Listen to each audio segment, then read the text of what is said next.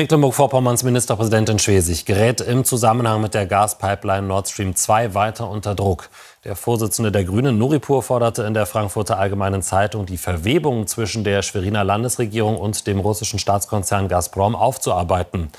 In der Kritik steht die SPD-Politikerin unter anderem wegen der Einrichtung einer Klimastiftung. Diese sollte helfen, die Pipeline trotz US-Sanktionsandrohungen fertigzustellen. Jüngst öffentlich gewordene Unterlagen legen einen starken Einfluss Russlands auf diese Stiftungsgründung nahe.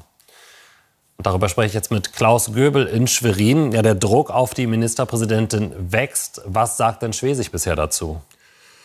Ja, Schwesig sagt bisher erstmal gar nicht viel dazu. Äh, sie ist aus, so heißt es, technischen Gründen nicht erreichbar.